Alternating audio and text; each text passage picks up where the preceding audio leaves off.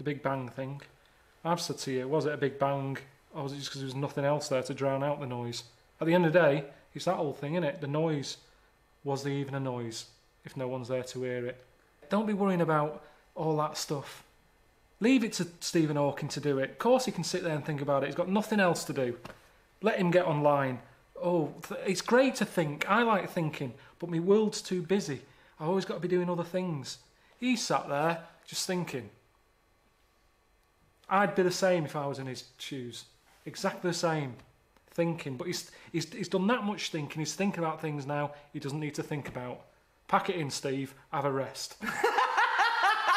Play Pac Man.